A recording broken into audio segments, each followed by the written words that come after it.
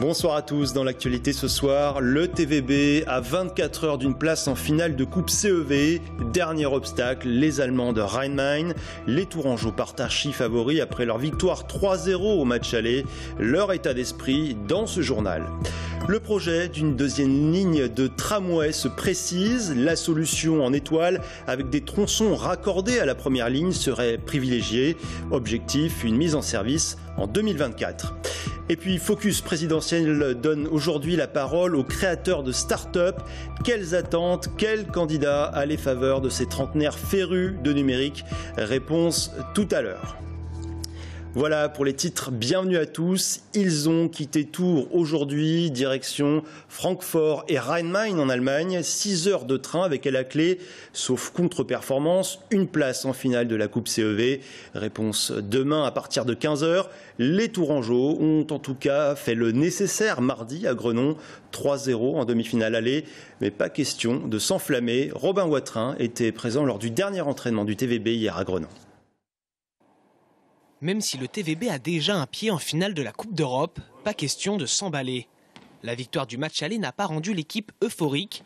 Tout le monde attend de terminer le travail. Tant que tu n'es pas qualifié mathématiquement, euh, tu n'as rien d'acquis. Donc euh, croire, euh, croire c'est bien, mais c'est le premier chemin pour pour, se faire mal. Donc je crois que ce qu'il faut se dire, c'est qu'on est à 49 ou 50 50% et qu'il te manque 1 ou 2% pour avoir la majorité. Je ne vous dirais pas ça si on avait gagné 3-0 à l'extérieur et on jouait le match retour chez nous, mais le match retour est en Allemagne. Donc euh, il faut redoubler de prudence et de vigilance parce que c'est des matchs euh, très pièges. Hein. Le pire, c'est de se croire déjà arrivé et que les Allemands vont être en victime. Et je ne pense pas qu'ils vont, qu'ils vont jouer en victime et attendre que ça se passe. Pour se qualifier sans passer par le Golden Set, le TVB devra remporter au moins deux manches. Mais l'entraîneur Gianpaolo Medei s'attend à une réaction des Allemands. Après avoir épluché les vidéos de leur match, il a été surpris de leur niveau de mardi soir. Je pense plutôt qu'ils sont capables de, mieux jouer, de mieux réceptionner surtout, et, de mieux jouer un peu à l'attaque, euh, surtout avec les deux réceptionneurs attaquants. Ils n'ont pas fait un grand match ici, mais normalement, j'ai regardé plusieurs matchs. Ils sont un peu plus, un peu plus performants à l'attaque. Donc je pense que c'est une équipe qui peut mieux jouer. Les Tourangeaux sont partis pour Francfort ce matin à 10h. Au programme, pas loin de 6 heures de train et un ultime entraînement en Allemagne en fin d'après-midi, avant le verdict demain à 15h. Voilà, et puis comme lors du match aller, TV Tour diffusera et commentera en direct la rencontre. Vous l'avez entendu, rendez-vous demain à 15h sur notre antenne. Et puis, hasard du calendrier, on apprend aujourd'hui que le club tourangeau pourrait faire l'objet d'un redressement fiscal de 400 000 euros. Dans un communiqué de presse, le TVB confirme avoir reçu une notification, mais précise qu'il fera valoir toutes les voies de recours possibles. D'ores et déjà, la ville, la métropole, le département et la région se sont engagés à verser chacun une subvention exceptionnelle de 100 000 euros. Un coup de pouce qui doit permettre au club de passer sans encombre devant la DNACG organisme de contrôle financier du volet. Cet argent des collectivités sera déduit sur quatre ans des aides annuelles versées au club.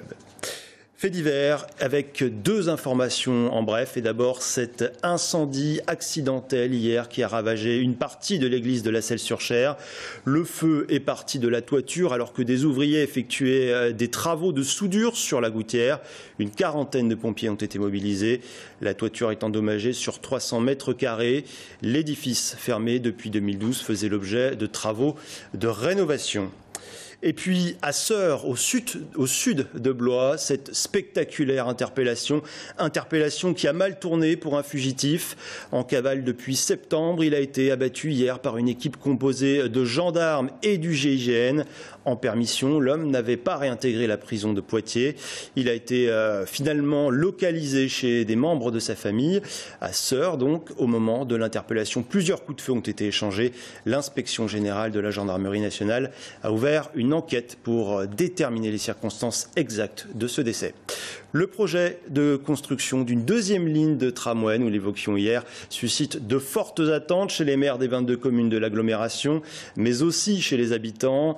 Une rencontre avait lieu hier à Tours entre une association d'usagers et les décideurs politiques. Tours Métropole privilégie un scénario, celui de tronçons organisés autour de la première ligne, avec une mise en service prévue en 2024. Les précisions d'Audrey Champigny.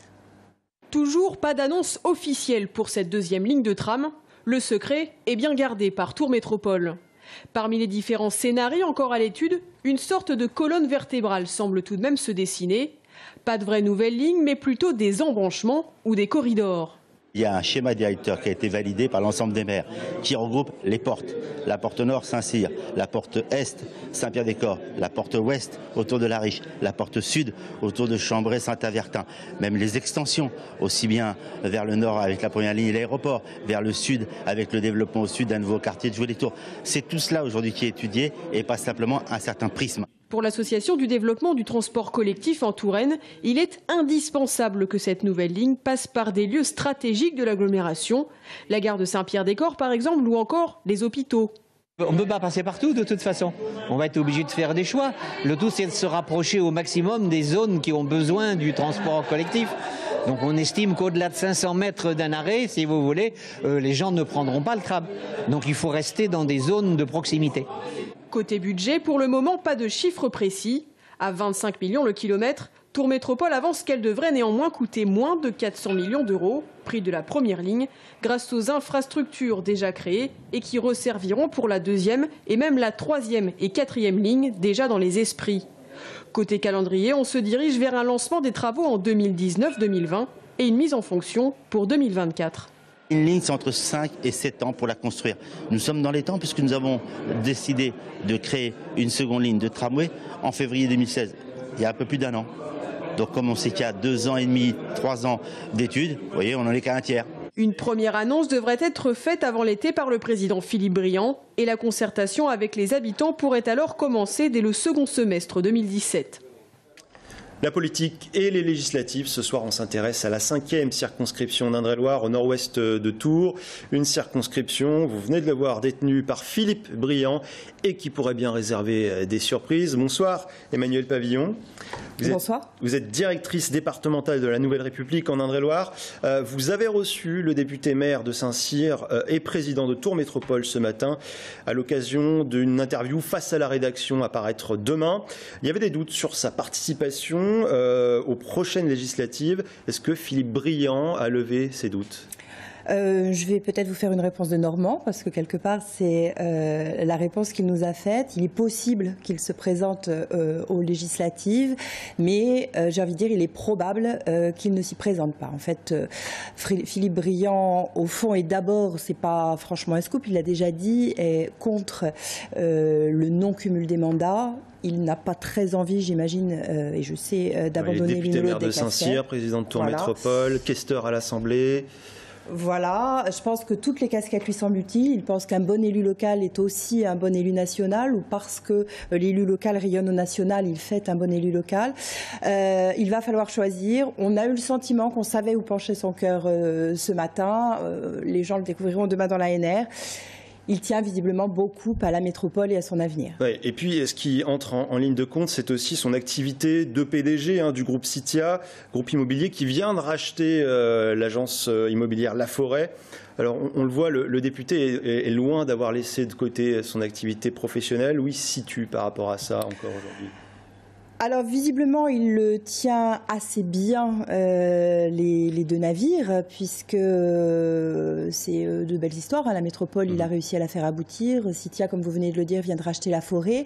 On a l'impression qu'il veut continuer à mener les deux de front, qu'il envisage un terme un jour à sa vie politique, mais que ce jour-là, de toute façon, l'entreprise restera et que ça restera sa priorité. Pour autant, dans l'actualité, sa vraie priorité, c'est la métropole. Mmh. Justement, quel cap euh, fixe-t-il pour cette métropole? Alors la métropole, euh, il nous l'a assez bien imagé, je, je trouve, avec euh, un petit peu d'histoire ou comment on grandit les grandes villes autour des voies de communication et de l'apprentissage. lui dit la métropole, c'est des voies de communication, un tramway, un aéroport, un tramway qui, mmh. qui petit à petit s'élargit en, en, étoile, et puis, et puis de l'enseignement, de l'apprentissage, mais aussi et surtout de l'enseignement supérieur. François Fillon est attendu le 10 avril à Tours avec un, grand meeting le soir. Euh, Philippe Briand euh, n'avait pas soutenu François Fillon aux, primaires. Est-ce qu'il sera présent lors de ce meeting? Alors, il sera présent. Il nous a même dit que si François Fillon lui demandait de s'exprimer, il le ferait pour exprimer son soutien. pour lui, François Fillon garde toutes ses chances de victoire et il dit vouloir le soutenir jusqu'au bout. De la loyauté, donc. Hein. De la loyauté jusqu'à la présidentielle. Merci Emmanuel Pavillon d'être venu en plateau. Et euh, puisqu'on parle de présidentielle, c'est l'heure justement de notre série Focus présidentiel à la rencontre des créateurs de start-up. C'est maintenant.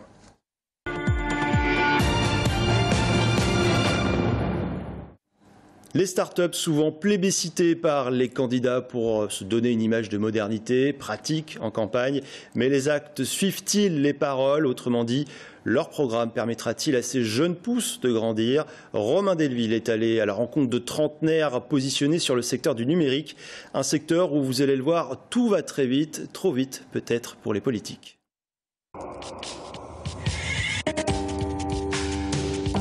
Sur le site MAM, le premier constat pour les acteurs du digital, c'est que l'économie numérique va plus vite que les idées politiques. Cinq ans, le temps d'un quinquennat, c'est une éternité pour ces jeunes gens qui considèrent que l'économie numérique est une des grandes oubliées de la campagne présidentielle.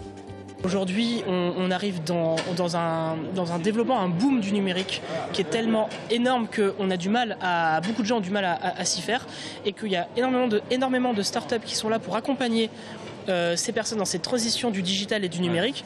Et sauf que c'est quelque chose qui n'est pas assez mis en avant aujourd'hui.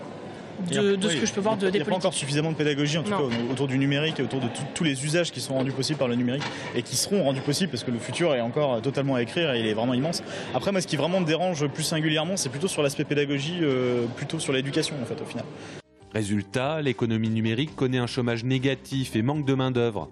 L'association France Digital, qui fédère les acteurs du numérique, a édité sur la toile un manifeste. 16 propositions, dont une mesure phare, un baccalauréat numérique. Une idée que défend Julien Dargues, cofondateur de la start-up Interview App et président de l'association Palo Alto. L'idée, c'est tout simplement de, préparer euh, les, euh, futurs, talents pour, euh, pour la nouvelle économie pour les nouvelles entreprises. Aujourd'hui, il, y a un déficit euh, clairement de, formation. la société se transforme, l'économie se transforme. En cinq ans, euh, elle a complètement changé. Et aujourd'hui, on a besoin euh, bah, que la société aussi, l'État, se transforme aussi vite que nos entreprises et que la société. Exemple avec Antoine, lui est community manager freelance et freelance ça veut dire indépendant. Antoine réclame que le RSI, le régime social des indépendants, s'adapte aux artisans du web. J'ai pas eu de nouvelles du RSI depuis début janvier. Donc je suppose que c'est dû à la dématérialisation et qu'il faudrait que, à partir du trimestre prochain, je déclare en ligne. Pour l'instant, j'ai fait, euh, principalement euh, en papier. Donc euh, ça m'a arrangé puis c'était plus simple. Il y a le fond et il y a la forme. Derrière la porte du Fun Lab, le coworking est roi. Ici, on partage ses connaissances, son savoir, son expertise. Tout ça pour faire avancer des projets communs. Une méthode, selon Thomas, dont ferait bien de s'inspirer les politiciens dans leur manière de gouverner. Essayer de, ouais, de mettre en avant des collaborations, euh, des choses comme ça, euh, entre personnes qui ont des idées. Quoi. En plus, moi, je me permets de me placer comme ça parce que je suis jeune, donc c'est un peu nous qui allons faire, euh, qui allons faire tout ça. Et il va, faut réunir, faut essayer de réunir des groupes, de, faire voir des groupes de gens qui ont des méthodes de pensée différentes, surtout sur la collaboration. Pour ceux qui réclament plus d'intelligence collective, de partage des idées, l'élection présidentielle de 2017, très personnalisée et de fait désuète, produit d'un monde passé. C'est le candidat que l'on n'attendait pas. François Asselineau portera les idées de l'UPR, l'Union populaire républicaine pour cette présidentielle.